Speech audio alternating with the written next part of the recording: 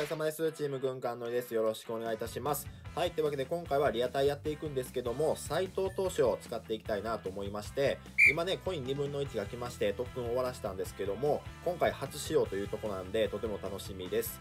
はい、でね、もう皆さんご存知だと思いますけども、ストレートがね、ムービングなのと、あとはね、ツーシームとスプリットを持っているというところで、まあ B ランクなんで、どこまで通用するかわかりませんけども、ちょっとね、使ってみたい投手なんでやっていきたいと思いますので、最後まで見てください。それではやっていきましょう。お願いします。やっていきましょう。とりあえずメッセンジャーさんでワンアウト取ってから斉藤さんに交代したいと思いますけども。いやー、ちょっとね、使えるのが楽しみ。お、糸井さんや。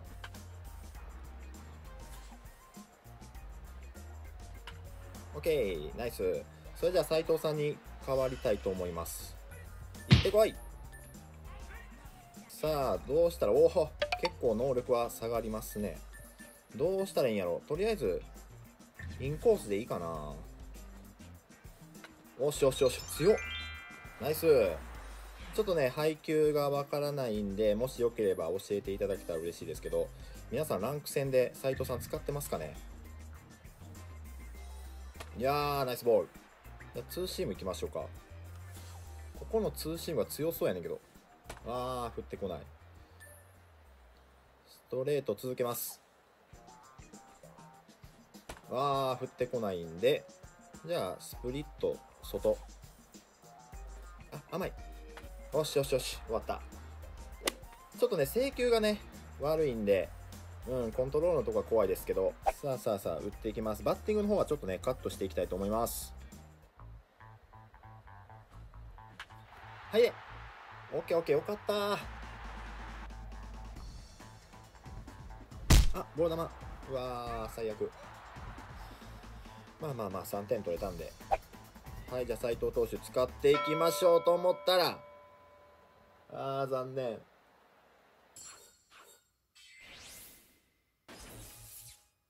よろしくお願いします。はい、ではね、2試合目やっていきたいと思います。ちょっとね、動画撮れなくて、1試合目から3日経ってしまったんですけども、はい、やっていきたいと思います。さあ、頑張って。まあ、バッティングの方はね、カットしていきたいと思います。さあ、やっていきましょう。まあ、実際はね、3試合目なんですけども、あのね、カープ純正の人にね、ボッコボコにされちゃいまして、ツーシームから入ってみます。OK、取れる？あー、取れんか。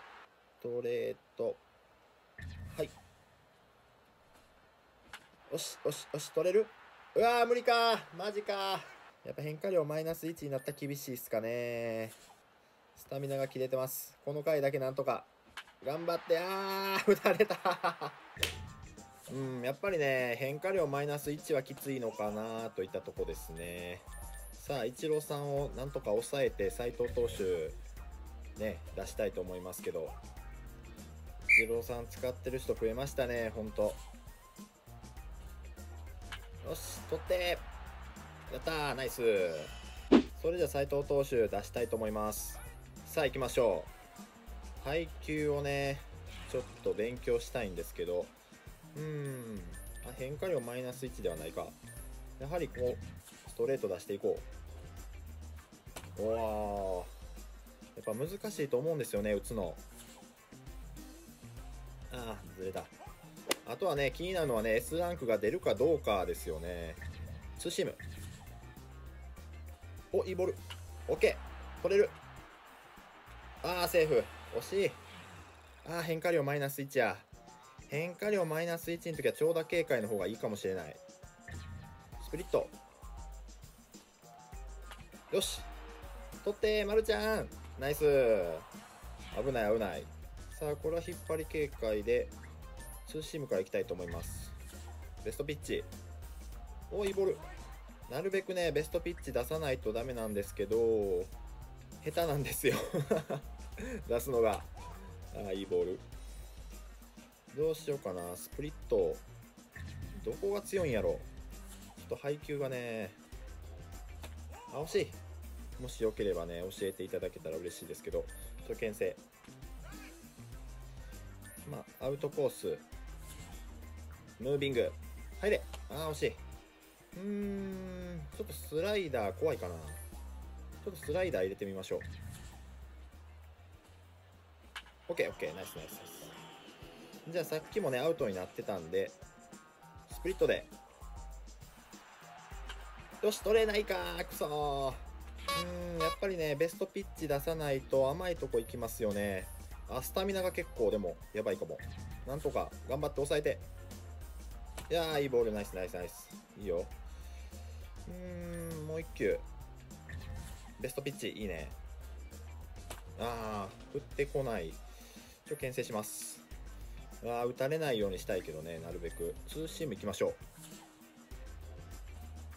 う。よし振ってくれた。OK スリーアウト。やっぱ強いわ。すげえ。さんちゃん。さんちゃんの力を見せたってくれ。お大ピンは出てる。さんちゃんパワー。よっしゃーこれだ。さんちゃんすげえさあ行けるとこまで行きましょうか。スライダーから入ってみたい。うん。あースタミナがでももうないね。やばい。よし。抑えてくれた。じゃあピッチャー交代したいと思います。はいというわけで試合勝てました。ありがとうございました。はいまあ B ランク斎藤投手どこまで通用しますかね。やっぱりね請求が低いというかね低くなっちゃう下げられちゃうんでね。えーベストピッチを出さないと甘いところにボールがいってしまうのかなといった印象でした。12球団でランク戦やってる方はね無理して使わなくていいのかなといったとこなんですけども阪神純正にとってはね B ランクでもありがたい投手かなと思いました。やっぱりね注目は S ランクで登場するのかといったとこなんですけどもうんシリーズ1はねちょっと厳しいかなと思うんですが、まあ、シリーズ2でね、えー通常 S ランクで登場する可能性もありますし確か、えーこの横浜戦でね先発で投げるみたいなんでね、えー活躍期待したいなと思いますしワンチャンアニバでね登場する可能性もあるんでちょっとね注目したい投手かなと思いました。今回初使用といったところでねちょっと配球がわからないとこもあったんですけどももしよければ配球ね詳しい方教えていただけたらなと思います。はい、というわけで最後までランク戦見ていただいてありがとうございました。ぜひね、チャンネル登録、高評価よろしくお願いいたします。皆さんの斎藤投手の印象、教えていただけたらなと思います。お疲れ様です。ありがとうございました。バイバイ。